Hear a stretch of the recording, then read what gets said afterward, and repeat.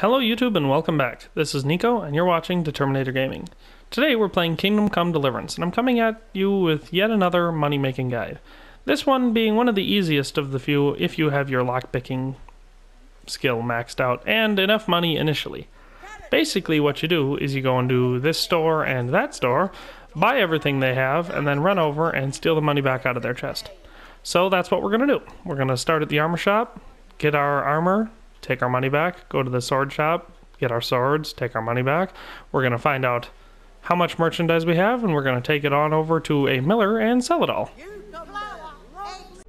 All right, so we're going to start at the armor shop. And since we're uh, not actually in it for the money, we're just trying to make a point, I'm only going to take the things that stay up over about uh, 500 when you're selling them. So we're going to stop right here at the Aachen Brigandine chassis. Okay, we're going to close the deal.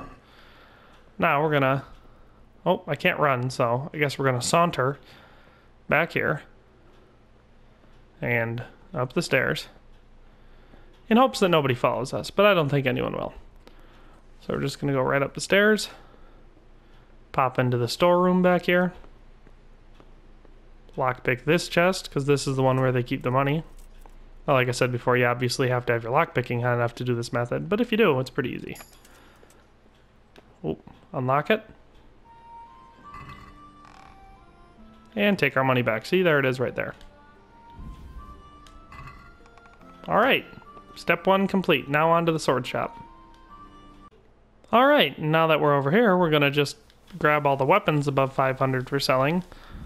Uh, looks like he has several. Hmm, duplicates, those are always fun. That'll make us plenty of money. But basically, uh, you know, like I said, I'm just making a point. If you actually were in it for the money, you'd want to get everything because, you know, that's the best way to maximize money. Uh, that should be enough.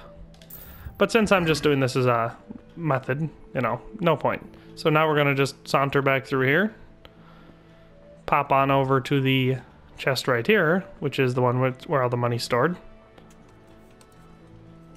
Hopefully lockpick it in one try. Oh, well we didn't, but we have Lucky Thief. So hopefully nobody runs back here and catches me. But there's our Groschen. Easy peasy lemon squeezy. Now I'm going to do that, uh, I don't know, four more times. It takes a long time to do it that way because you have to wait about four days between each time. But, you know, I'll get it done so we can grab a couple and then we're going to run on over to the miller.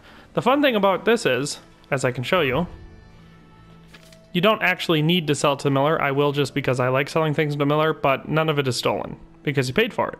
But you didn't pay anything because you stole your money back. So it's a perfect way to make money in this game. Alright, now that we've done that a couple times with waiting four days between each one, so that took forever, but I did it five times, uh, we're gonna sell it. And I came over to Miller Woschek because I want to level his money up too. So I don't expect to take away much money from this, but you know, it's the principle. So we're going to go ahead and sell it. Now mind you, obviously you make a lot less money than this if you only do it once, but you'll still make plenty of money. Or you could just use it as a way to grab, you know, a full suit of armor or uh, any weapon you want in the game for not paying anything. But let's see how much we can get for all of this.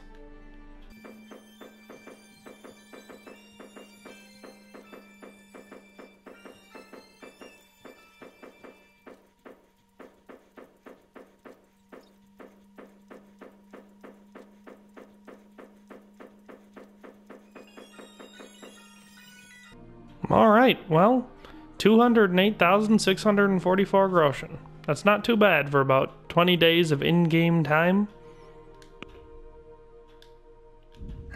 Let's just uh, give this all to him. So I make 11k out of it, but next time he'll have plenty of money. Well, that just about does it for this video. If you liked it, please leave me a like. If you have any comments, questions, or concerns, feel free to leave them below. And if you like this content, please be sure to subscribe to the channel and turn on notifications, as it helps my channel greatly, and also because it'll help you stay up to date on all of my content coming out in the future. But in any case, thanks for watching, and I'll see you next time. Goodbye.